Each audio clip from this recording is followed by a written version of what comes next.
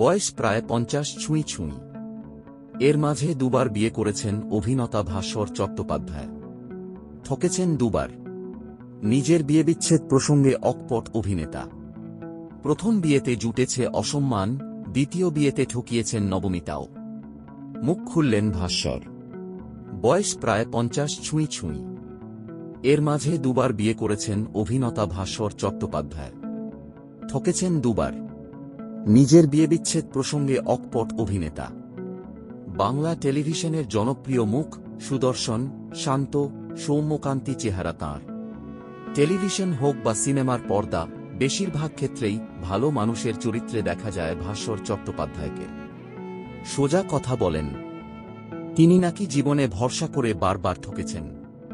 এক্ষেত্রে অভিনেতার অভিযোগ তার প্রাক্তন দুই স্ত্রীকে নিয়ে।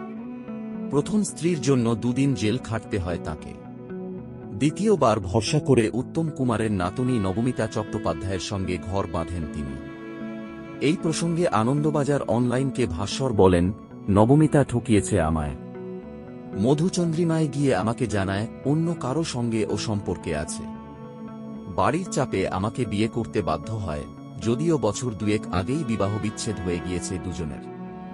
দৃপ্ত কণ্ঠে জানিয়েছেন আর চুপ করে থাকবেন না তিনি। পাল্লা দিয়ে বাড়ছে ঘর ভাঙার খবর। যদিও ভালোবাসার উপর আস্থা রেখে বারবার বিয়ে করেছেন তার কারা। কারও সম্পর্কে টিকেছে কারও আবার সম্পর্ক ভেঙেছে। তবে জীবনে দুবার বিয়ে করে যন্ত্রণাই ভোগ করেছেন ভাস্বর। জানান এখনও ইন্ডাস্ট্রির অন্দরে শুনতে হয় নানা তির্যক মন্তব্য। কেউ তাকে বলেছেন ভাস্বরের তো বিয়ে টেকে না ও কেমন ছেলেকে জানে? তাই আর নীরব থাকতে চান না তিনি। ভাস্বরের কথায় আমার মনে হয় সত্যিটা বাইরে আসা দরকার। নয়তো যে কেউ এসে আঙুল তুলে যাচ্ছে। কেন হবে সেটা?